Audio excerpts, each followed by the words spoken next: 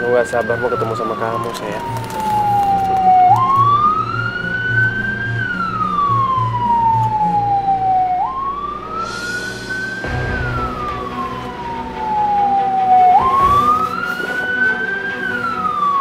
Eh, ini kenapa kenapa nggak ada siapa-siapa yang minggir ya? Itu ambulans harus lewat. Ya kondisi darurat seperti ini orang semua harus lewat. Kenapa nggak ada yang mau lewat? Aku harus bantuin mereka.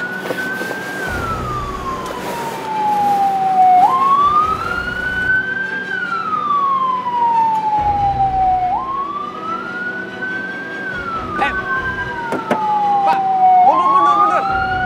Pak dulu Pak, ke sana, ke sana, masuk ke situ Pak, masuk ke situ. Masuk ke situ, masuk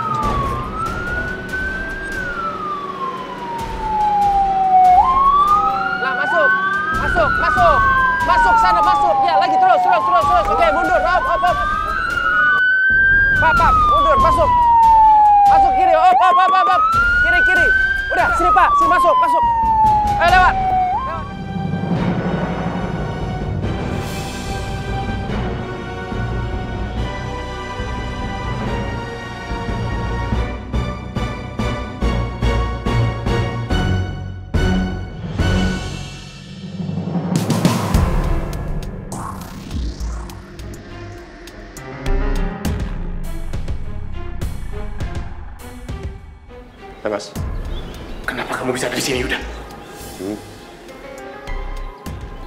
Seharusnya kamu di penjara kan? kenapa harus di penjara? Saya kan orang baik. Harusnya kamu malu datang ke pabrik saya lagi. Kamu yang menyebabkan semua masalah di pabrik saya. Kamu yang bikin pabrik saya jadi begini sekarang. Lihat aja, Yuda. Saya akan perkarakan kamu ke polisi sekarang juga. Mas Raffi itu nggak punya bukti apa-apa mas untuk memperkarakan saya. Hah? Apa? Apa? Oh, lihat aja, Yuda. Saya akan dapatkan semua bukti kebusukan kamu.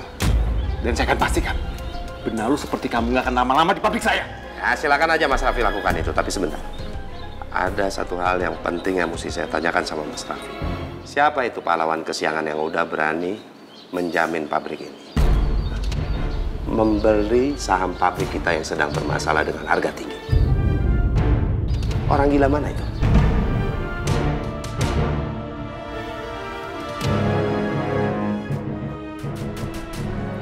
Bukan Pak Radit kan?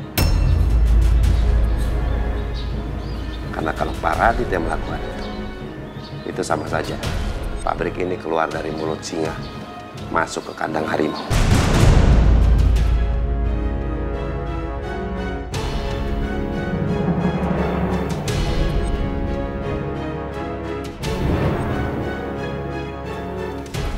Aku harap bukan Pak Radit yang beli sahamku kemarin. Tapi aku belum bisa tanya ini ke Rianti atau Pak David. Mungkin sebentar lagi mereka datang. Makasih ya, Bu. Ya. Eh, permisi Bu. Eh, ya, saya pengen tanya apa peserta dari SD eh, SD eh, Pasar Pasar Minggu udah udah datang belum? Peserta dari SDN Pasar Minggu seharusnya sudah datang, Pak. Tapi sampai sekarang belum datang juga. Oh, soalnya kebetulan eh, istri saya emang guru yang nemenin eh, pesertanya ke sini. Eh, dan dia bilang kalau dia udah udah berangkat ke sini. Sebentar ya, Pak. Saya cek dulu.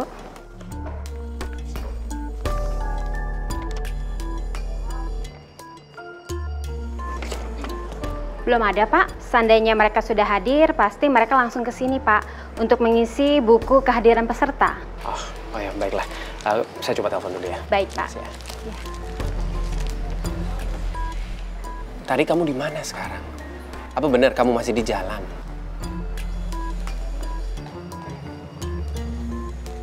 Ih, Bu Guru cantik. Suster, suster tunggu sebentar. Ini kan istri dokter Firman. Kenapa, Sus? Katanya tertimpa neon box. Astagfirullahaladzim. Ayo, ayo. Sayang, sayang, sayang, tunggu dulu, tunggu, tunggu. Bu Guru cantik. Tunggu di sini ya. Suster, Indah pengen masuk, Suster. Kalau Indah sendiri, Indah bisa diculik. Tunggu dulu ya, sayang ya. Karena kalau di sini itu banyak virusnya, ya. Emang kamu mau ketularan? Ya tapi Bu Guru cantik kenapa? Bu Guru Cantik nggak apa-apa. Bu guru cantiknya lagi diperiksa dulu. Jadinya Ade sama suster dulu. Tapi Ina pengen ke sana.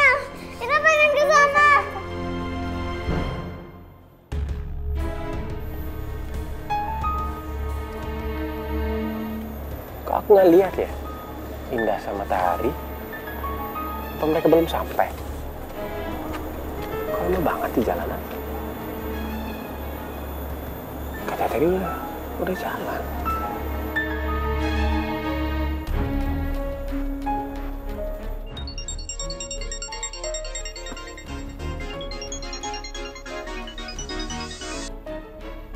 Ya, suster, kenapa?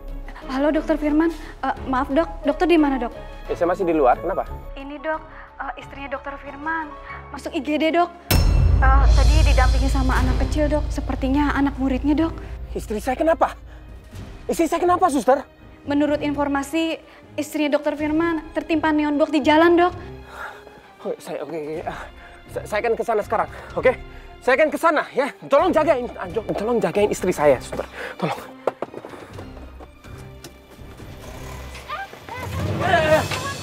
Sorry, maaf, maaf, maaf, saya buru-buru, tolong, pergi, pergi. Saya, saya buru-buru. Tolong. Tolong minggir, tolong minggir.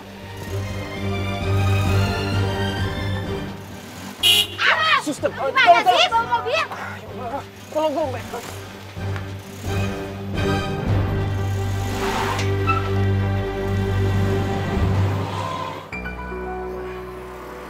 Wah, untung banget Pak Wap datang bantuin saya gantiin ban, Pak. Iya, makanya Pak Rapi besok-besok jangan nyetir sendiri nape. Ntar kan kalau ada begini-beginian jadi repot. Iya, makasih, Pak. Iya. Mas.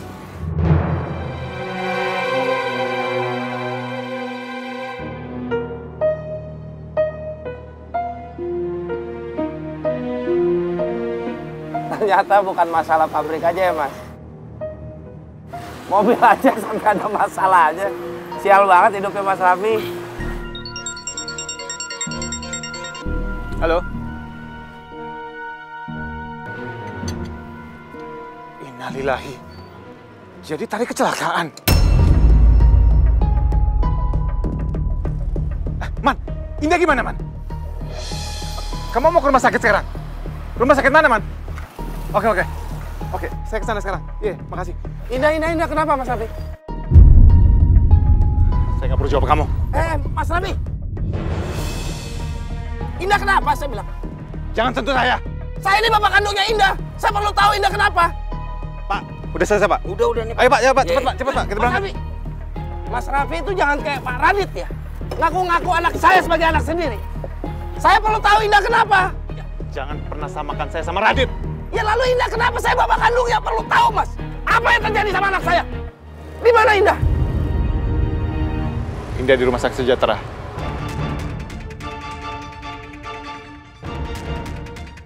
Gua harus sampai duluan sebelum Mas Raffi. Awas aja Mas Raffi. Kalau sampai anak gua kenapa-napa, gua bakal langsung bawa anak-anak gua menjauh dari dia. Pak, rumah sakit sejahtera. Pak ayo Pak, Iya, cepet iya, Pak.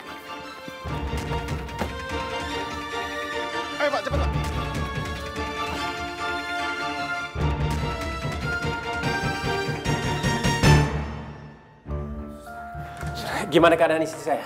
Istri dokter sudah dipindahkan ke ruang operasi dok. Dokter Wisu dan dokter lainnya sudah menunggu dokter di sana. Oke, ter- terus uh, anak kecil yang dibawa sama dia, uh, Indah, itu gimana? Firman.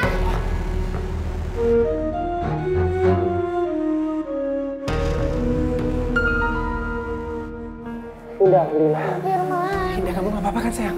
Indah nggak apa-apa kok Om Firman. Indah diselamatin Bu Guru Cantik karena ada neon box yang hampir jatuh ke Indah. Om Firman tolong selamatin Bu Guru Cantik. Indah nggak mau Bu Guru Cantik meninggal ke Ibu Indah. Enggak, enggak, enggak, enggak, enggak, sayang, sayang. Tenang, kamu tenang ya sayang ya. Kamu tenang ya. Indah bantu. Indah bantu dengan doa, oke? Iya Om. Ya, sekarang Om akan pergi ketemu sama Bu Guru Cantik. Indah di sini dijaga sama sama suster, oke? Iya Om. Ya, suster, tolong jagain ya, suster. Ya, baik, baik. Ya, terima kasih. Indah jaga ya.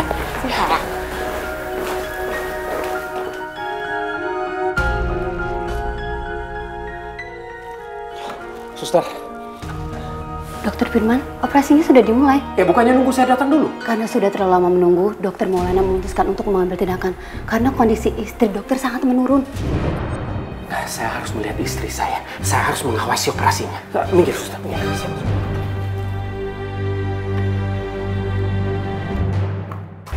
Jadi untuk penanganan pasien, kita akan lebih fokuskan kepada kedua matanya ya.